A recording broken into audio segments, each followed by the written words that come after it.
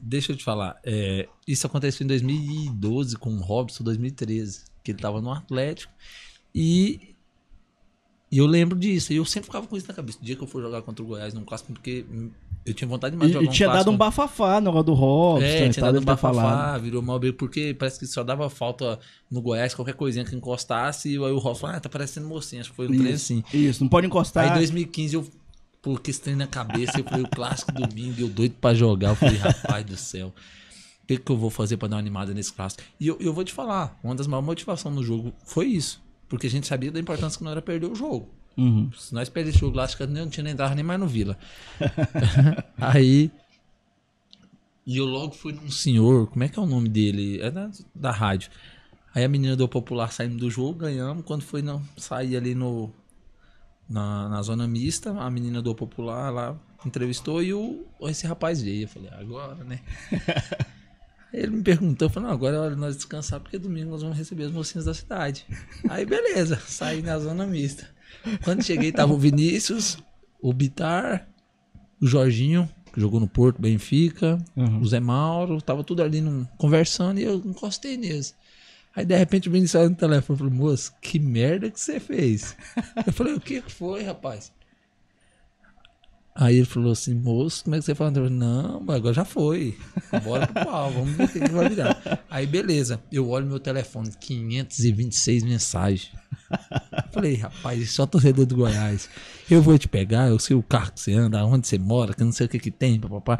Aí o Hugo me chamou, né? Falou, não, se você precisar de alguma coisa, que manda alguém de segurança com você. Eu falei, não, pode ficar tranquilo, aí. Eu vou pra minha casa, vou entrar pra minha casa.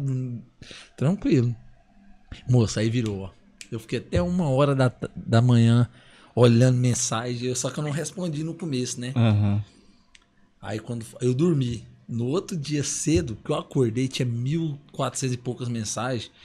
E lá no Vila, aquele bafafá e telefone tocando, repórter ligando. Eu falei, rapaz do céu, eu não sabia que ia dar isso tudo, não.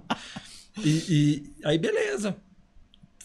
Chegamos lá e falaram de punição, que não sei o que. tem. Cara, eu, sinceramente, futebol tá chato de se jogar. Futebol tá. Sabe? Porque você não nada. pode fazer nada. Você não pode tirar Acaba a camisa, rivalidade, uma né? Ué, rivalidade é o futebol um contra o outro. Acabou, acabou ali. Não sou a favor de violência. Uhum. Não concordo com violência hora nenhuma. Sou a favor da rivalidade. Eu acho que tem Aham. que ter. Porque pra mim, tanto, É, que, a é, brincadeira, a zoeira ali é bom demais. tanto que é bonito você ver o, o clássico. Um clássico com, Goiás- com as duas torcidas, Goiás e Vila. Apesar de que a do Vila sempre toma 70% do estádio pra mais. Mas o que, que acontece? Cara, é muito difícil. Futebol tá muito chato de se jogar. Então, eu sabia da importância dentro do jogo. Aí beleza, aí aumentou até o efetivo da, de segurança pra ir pra Serrinha, né? Porque Aham. por causa disso virou aquele, aquele rebuliço todo de mensagem, eu concentrado. E no dia do jogo, os caras mandando mensagem pra mim. E a torcida do Vila, muitos apoiaram, quase que a maioria apoiou. Não. E os caras fizeram negócio pra pedir a música na rádio. Que foi a rádio Foi. mais tocada, a música mais tocada, Eu liguei, a rádio mais tocada. eu liguei e falou, toca aquela música. Aí os caras me mandando, "Ô, olha aqui isso aqui, cara, olha isso aqui. e eu concentrado no jogo, porque eu tenho aquele negócio que é, uma hora antes do jogo ali, quando você entra, embarca no onde eu já coloco pra escutar uma música, um rap, um que eu gosto. E, e concentrado, concentrado, concentrado, chegamos na serrinha e vamos subir pra aquecer.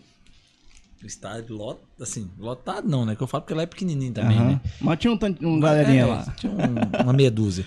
Aí, quando pensa que não, rapaz, quando deu entrei, eu falei pros caras, vai primeiro. Deixa eu ir no deixa final. eu ir no final. Eu saí com a bola, pingando a bola. Os caras começaram a me xingar e neguinho na tela me xingando. E eu nem tinha, eu só ria, porque não tinha. É, o clássico tava bom por causa daquilo ali. Aham. E aí, quando pensa que não, voltamos ao vestiário, trocamos de roupa, vamos subir pro jogo. Aí subi, fui, pro- eu tava, esse jogo eu tava no banco e fui pro banco. Rapaz, quando nós fizemos o gol. Ah, meu irmão, aí eu saí do banco da torcida e os caras. Você tá doido? Eu falei, e os caras avançando na tela. Aí até que feio. Quando eu entrei no jogo, primeiro lance, o Eduardo Tomás me vem me dá um cartão e já fala, calma, pronto, viu? Aí já me segurou no jogo, não teria como mais.